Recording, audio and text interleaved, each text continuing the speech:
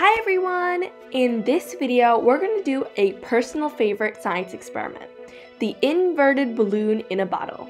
To be able to do this experiment, you're going to need a glass bottle, a balloon, some water, and a way to heat up that water, whether it be a stove or a microwave or any other way you can heat the water.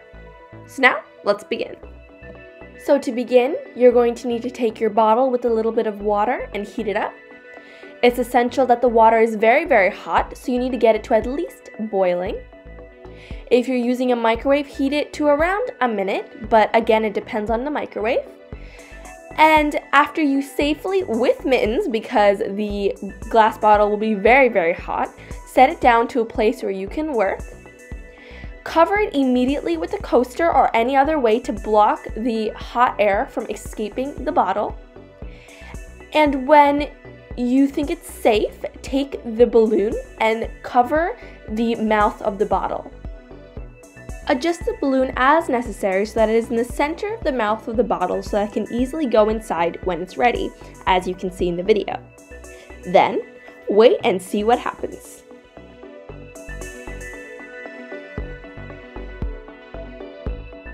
While we watch this experiment progress, let's start explaining how this experiment works. When you heat up the water inside the glass, the water turns into water vapor, which is a gas.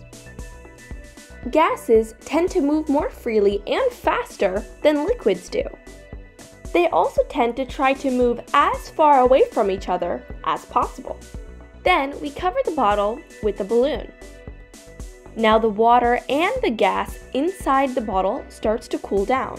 The water vapor that had previously been water now condenses, which means it turned back to being water. Imagine that these molecules that were all spread out inside the bottle now goes back to being a very, very small amount of the bottle. Look at how much water is in that bottle. As I mentioned before, gases try to go as far away from each other as possible. So, in a container, the gas takes whatever volume the container is in. But liquids always have a defined volume. So, when the gas condenses into the liquid, most of the molecules are going to shrink down to that very small portion of the glass. And outside, the pressure of the molecules are a lot higher than the pressure inside. Why? Well, because the pressure depends on the amount of molecules there are on a given volume. The more molecules there are, the higher the pressure will be, and the less molecules, the lower the pressure. So if the molecules are more um, closely compacted, there'll be a higher pressure, and if they're very spread apart, there'll be a lower pressure. So when all of the molecules come down into a very small portion, all of the liquid molecules now, there's not going to be a lot of gas molecules left inside the container.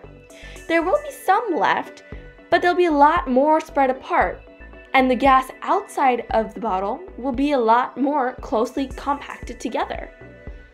And whenever this happens in nature, well, it's going to try to reach an equilibrium so that the inside and the outside have an equal amount of pressure.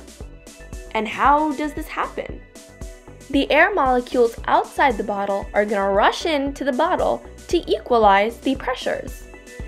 And we have the balloon in its way. So it's going to push the balloon with it in order to equalize the pressures.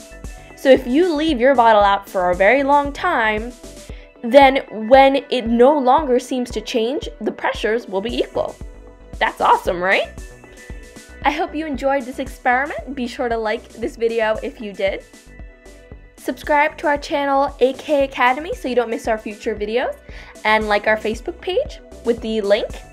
And I'll see you in the next video. Bye guys!